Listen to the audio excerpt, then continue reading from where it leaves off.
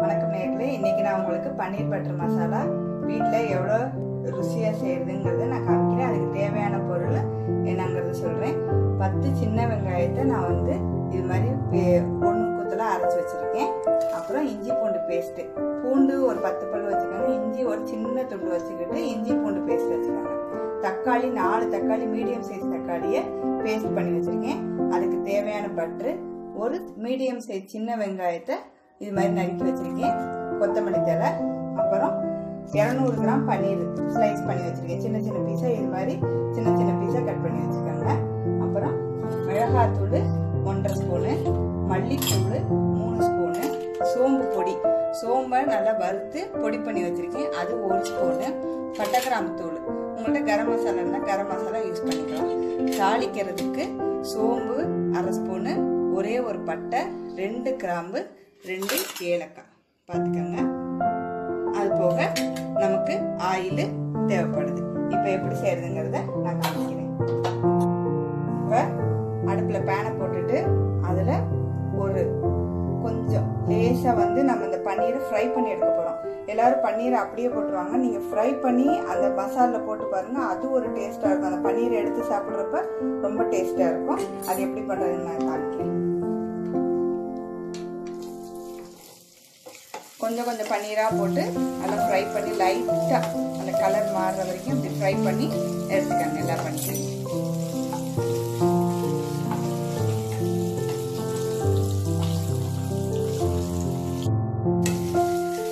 பாருங்க லைட்டாக ப்ரௌனாக இருக்கு.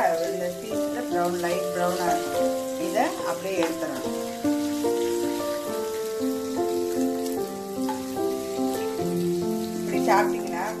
பச்சையாக போடுறத விட இது மாதிரி பொறித்து அது ஒரு டேஸ்ட்டாக இருக்கும். நல்லா அந்த பிள்ளைங்க பன்னீர் எடுத்து சாப்பிடும்போது ருசியாக இருக்கும்.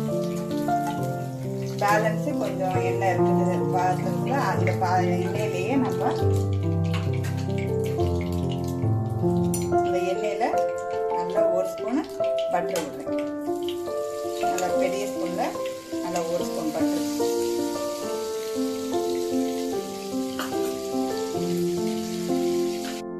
பன்னீரை எடுத்தோடனே பேலன்ஸ் என்ன இருக்கும் அதுலேயே நம்ம பட்டை கிராம்பு ஏலக்காய் எல்லாத்தையும் போடணும்.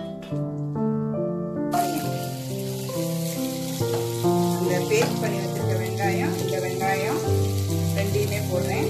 அதோட ரெண்டு பச்சை மிளகாய் கீழே அதையும் நல்லா சில பேர் வெங்காயத்தை எல்லா வெங்காயத்துமே அரைச்சி போட்டுருவாங்க சில பேர் வெங்காயம் யூஸ் பண்ண மாட்டாங்க. நீங்கள் இந்த மெத்தடை யூஸ் பண்ணி பாருங்கள் ரொம்ப டேஸ்ட்டாக இருக்கும் மசாலு.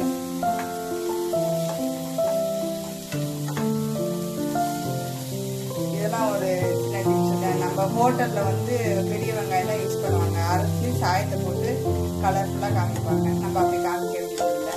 கலர் யூஸ் பண்ண தேவையில்லை நம்ம. இந்த வெங்காயம் லேசாக நேரம் மாறினோடனே இதில் பூண்டு நல்லா பத்து பல்லு பூண்டு போட்டுக்கு சின்ன துண்டு இஞ்சி போட்டுக்காங்க.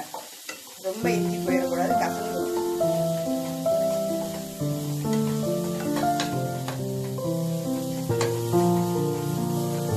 நல்லா ஃப்ரை பண்ணுங்க.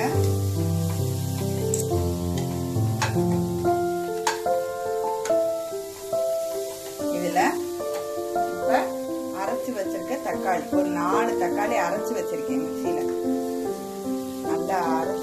நல்லா அரைச்சிக்கணும் தக்காளியை. அரைச்சதை அதில் ஊற்றுறேன் அதையும் நல்லா வதக்குங்க.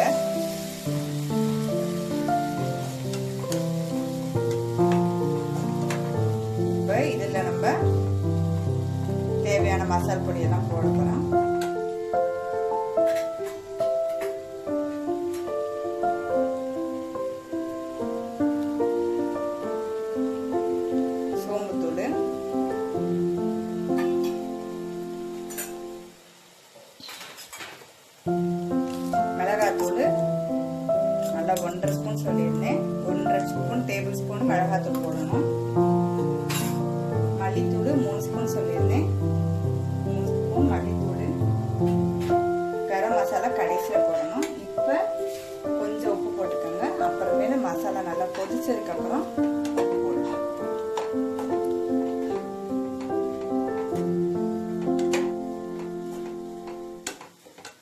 கலரே கலக்காம நமக்கு அந்த கலர் வந்துடும் கலர்லாம் தயவுசெய்து யூஸ் பண்ணாதீங்க.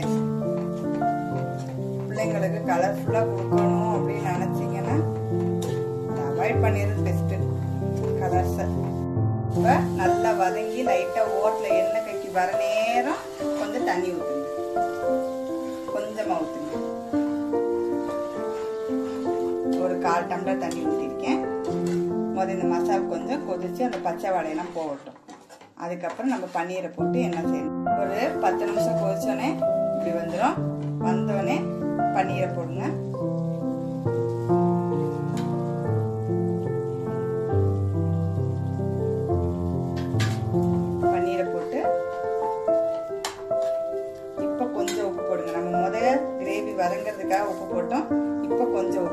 உப்பு மட்டும் பார்த்து போடணும். பன்னீர் பட்டர் மசாலாவுக்கு உப்பு ரொம்ப போயிடக்கூடாது கொஞ்சம் கொத்தமல்லி தலை மிச்ச கொத்தமல்லி தலையை கடைசியாக போடணும். போட்டு இப்போ இன்னும் கொஞ்சம் தண்ணி விடுங்க. இதுவே பார்த்தீங்களா எவ்வளோ கலர்ஃபுல்லாக இருக்குது எந்த கலரும் நான் யூஸ் பண்ணலை. தக்காளி பேஸ்ட்டு மிளகாத்தூள் இந்த கலரே நமக்கு நல்ல கலர் வந்துடும் ஹோட்டலெல்லாம் செக்க செவேன்னு கொடுத்து கையில் சாயந்தான் விட்டோம் இது இன்னும் டேஸ்ட்டாக இருக்கும். இன்னும் கொஞ்சம் தண்ணி ஊற்றி நல்லா தண்ணி ஊற்றிங்க வேணுங்கிற அளவுக்கு கிரேவி வேணுங்கிற அளவுக்கு நல்லா தண்ணி ஊற்றி ஒரு அஞ்சு நிமிஷம் மூடி வச்சிருங்க. மூடி வச்சு நல்லா வேகட்டும்.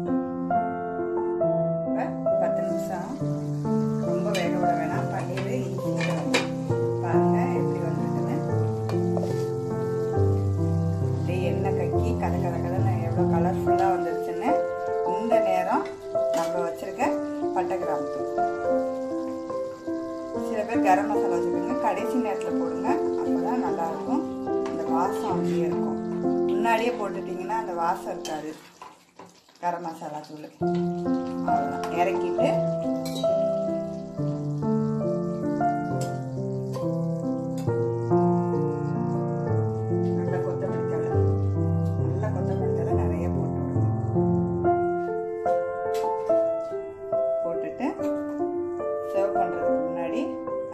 Spoon butter